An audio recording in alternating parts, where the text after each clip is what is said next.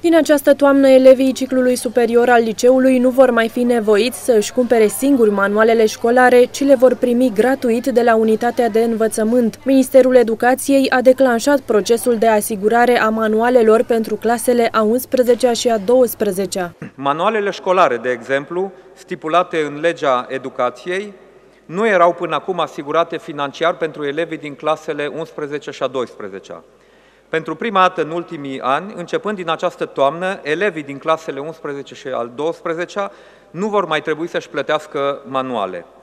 În scurt timp, după dezbaterea publică, va fi adoptat și statutul elevilor, care este deja prevăzut de lege, care să vină cu clarificări în privința drepturilor și obligațiilor acestora.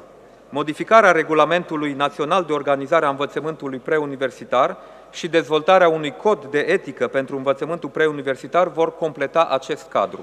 Demersurile pentru asigurarea manualelor școlare pentru tinerii aflați în ultimul și penultimul an de liceu vor fi întreprinse de fiecare inspectorat școlar județean și de unitățile de învățământ, în urma unei selecții realizate de cadrele didactice. Procesul se va desfășura în trei etape. Până la data de 20 mai, editurile vor transmite Centrului Național de Evaluare și Examinare un document scris prin care să-și exprime interesul privind ofertarea de manuale școlare și lista de manuale pe care le pot oferta pentru clasele a 11-a și a 12-a. Până la data de 31 mai, editurile interesate vor transmite tuturor liceelor câte un exemplar din manualele școlare pe care le pot oferta și care sunt cuprinse în catalogul manualelor școlare din învățământul preuniversitar. În perioada 16 mai-10 iunie, profesorii din licee vor selecta, în baza liberei inițiative profesionale, acele manuale școlare din catalogul manualelor școlare propuse de către edituri, în vederea utilizării în procesul didactic în anul școlar 2016-2017.